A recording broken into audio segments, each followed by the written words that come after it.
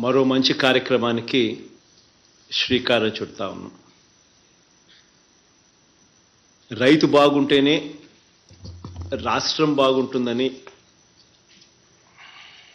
ప్రగాఢంగా కూడా నమ్మిన ప్రభుత్వం మనది.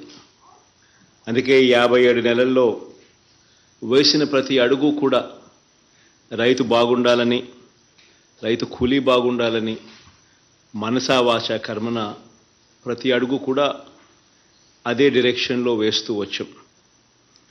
ఈరోజు ఐదవ ఏడాది ఎక్కడా కూడా క్రమం తప్పకుండా ప్రతి సందర్భంలోనూ రైతుకు అందాల్సిన సమయంలో రైతుకు సహాయం అందిస్తూ ఎక్కడా కూడా క్రమం తప్పకుండా ఐదవ ఏడాది మూడవ విడత రైతు భరోసా సొమ్మును ఈరోజు విడుదల చేస్తా ఉన్నాం.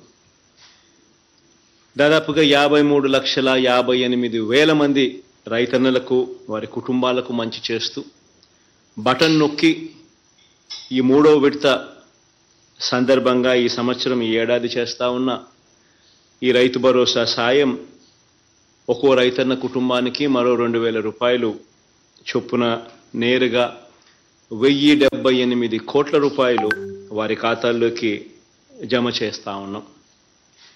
ఈరోజు అందించే ఈ సాయంతో ప్రతి ఏటా కూడా పదమూడు వేల ఐదు వందల రూపాయలు మనం ఏదైతే ఇస్తూ వస్తూ ఇస్తూ వచ్చామో ఈ ఐదు సంవత్సరాలలో ప్రతి రైతు కుటుంబానికి ఒక రైతు పక్షపాత ప్రభుత్వంగా ఈ ఐదు సంవత్సరాలు క్రమం తప్పకుండా పదమూడు వేల ఐదు వందల రూపాయలు ఇంటూ ఐదు సంవత్సరాలు కింద అరవై ఏడు వేల రూపాయ అరవై ఏడు వేల ఐదు వందల రూపాయలు ప్రతి రైతన్నకు ఇచ్చినట్టు అవుతుంది ఈరోజు ఇస్తా ఉన్న ఈ మూడవ విడత సహాయం కూడా కలుపుకుంటే. ఇలా ఈ యాభై మూడు లక్షల యాభై ఎనిమిది వేల మంది రైతన్నలకు అందించిన సహాయం కేవలం ఈ ఒకే ఒక్క స్కీమ్. వైఎస్ఆర్ రైతు భరోసా పిఎం కిసాన్ అనే ఈ ఒకే ఒక్క స్కీమ్ ద్వారా అక్షరాల ముప్పై నాలుగు వేల రెండు వందల ఎనభై ఎనిమిది కోట్ల రూపాయలు ఈ ఒకే ఒక్క పథకం ద్వారా రైతన్నలకు పెట్టుబడి సహాయంగా రైతన్నలకు పంటలు వేసే సమయంలో రైతన్నకు దన్నుగా పెట్టుబడి సహాయంగా అందించాం. ఈ ఒకే ఒక్క కార్యక్రమం ద్వారా జరిగిన మంచి ఇది. ఇది ఎందుకంత అవసరము ఎందుకంత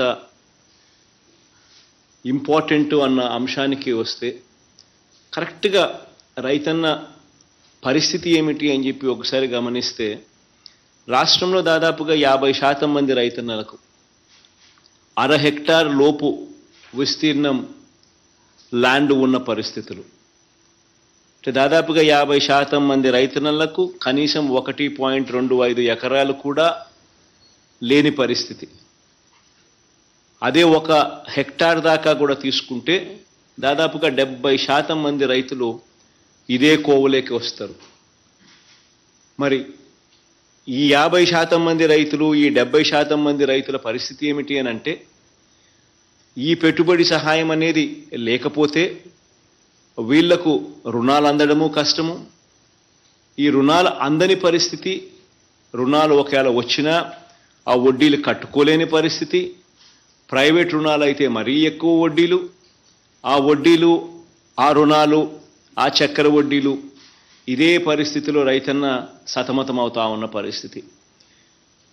ఈ రైతన్నలు ఏదైతే ఈ యాభై శాతం మంది రైతన్నలు ఏదైతే ఒకటి పాయింట్ రెండు ఐదు ఎకరాల లోపు ఉన్నవారు ఎవరైతే ఉన్నారో వీళ్ళందరికీ కూడా ఒక గొప్ప మేలు జరుగుతూ ఉంది. వీళ్ళ దాదాపుగా వీళ్ళు వేసే పంటల్లో ఎనభై శాతం పంటలకు అయ్యే ఎనభై శాతం ఖర్చు ఈ పదమూడు వేల ఐదు వందల రూపాయల్లో కవర్ అవుతుంది.